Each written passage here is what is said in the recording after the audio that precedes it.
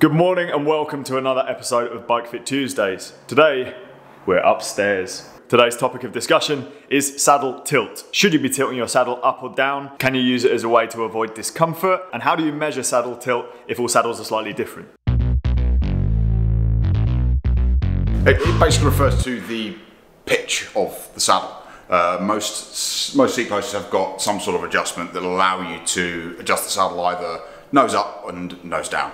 And I think that what that's what we're, going to be, what we're going to be exploring in this video is whether whether it should be level, up or down. Some saddles you need to set up with a little bit of tilt because it depends on how they're actually designed. So for example, something like this Turnix, which has got a bit of a kick up at the back, same as like a Romin, specialized Romin. They tend to need a little bit more tilt applied to them because so you're going to so you get the, the actual seating area relatively flat.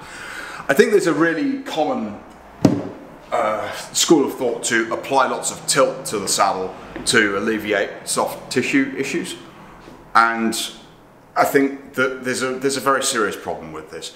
Uh, when when you apply lots of tilt to the saddle, you create a slope. And what happens when you put something on a slope? Yes, that's how stable your pelvis is. When you apply a lot of saddle, uh, a lot of tilt to the saddle, you end up gravitating to the nose. There are a lot of other issues that are commonly associated with it. I am I'm starting to believe that it's it, it generates an overutilization of the quadriceps, so your your quads start enlisting posturally to stop you from falling off the front of the saddle. And if they're being, if your quads are being utilised posturally, they can't be utilised as extensors, not as effectively at least. So Basically, if you're having saddle issues, don't do that. Thank you, British Cycling, for that idiotic concept. Uh, so generally, if, if, you're getting, I think we've got to explore why people will start applying excessive saddle tilt, and it's usually as a result of, uh, like I say, soft tissue discomfort. There goes the power.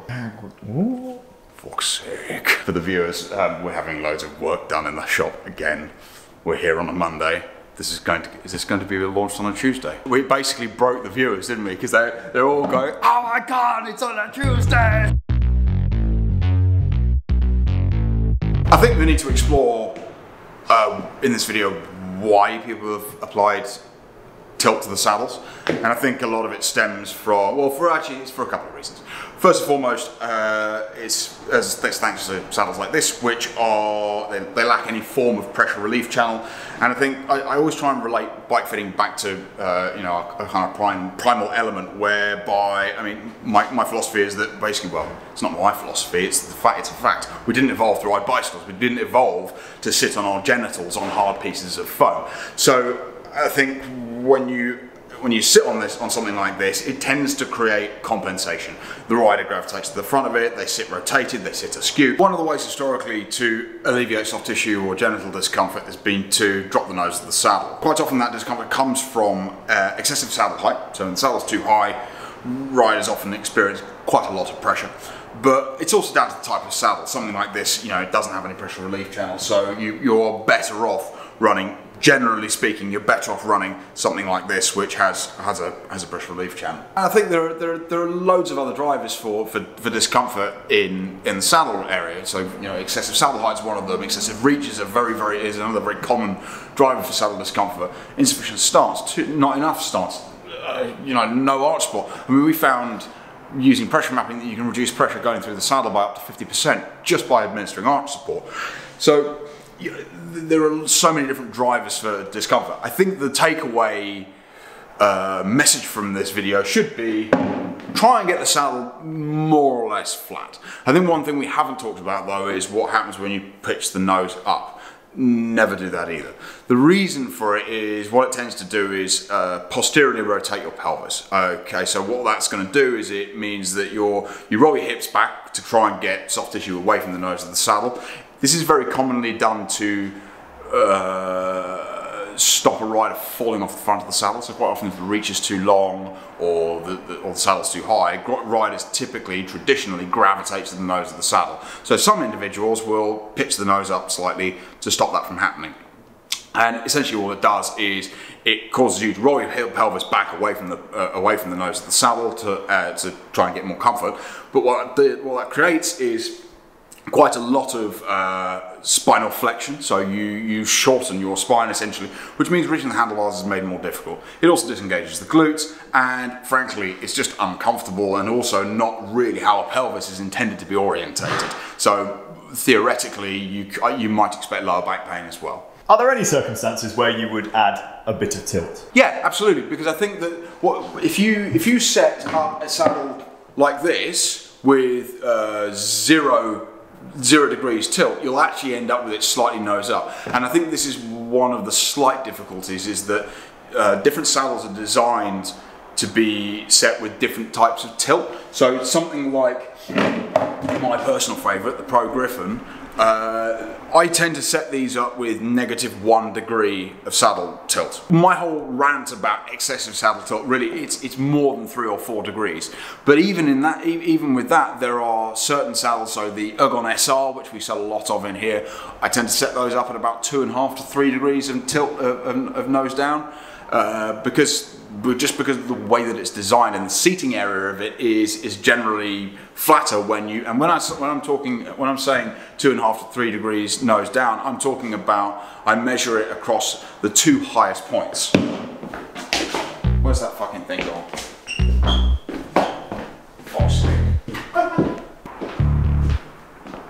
You know so for example we take your bike Fran and that's got 1.2 degrees of nose down.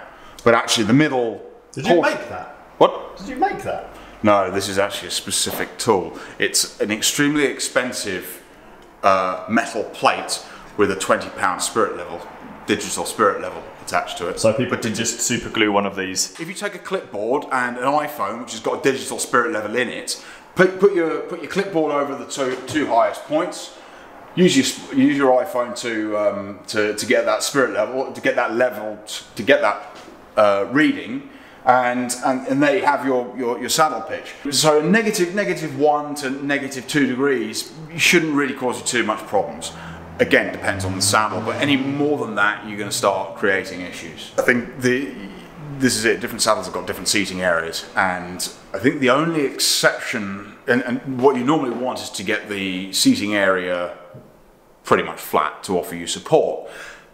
But if you, I think the only exception to that is probably the SMP. And I mean, there ain't a single millimeter of this saddle that's flat. This might be the one exception to my uh, no nose up rule, but I actually found sometimes needing to run these with the with the nose slightly higher. But uh, I mean, again, generally with this saddle, you kind of want it pretty much across the two highest points. You want it pretty much flat. Is was generally my finding. I stopped using these on the grounds that I found it quite time consuming to, to get them set absolutely right. I also found I had to run them quite far forward because the seating area is so far back. But uh, in reference to one viewer's comment of one video we did recently is there a saddle that has more fore-aft adjustment than 15 or 20 mil. This is one of them you know these got like 30 or 40 mil of, of, of rail adjustment. So so yeah I mean I, I, would still I would still try and keep it relatively flat. I think that like I said earlier that the takeaway from this should be don't add loads of pitch to it. If you're having saddle issues I would explore other elements of your fit or get a bike fit. Never apply excessive pitch to your to your saddle.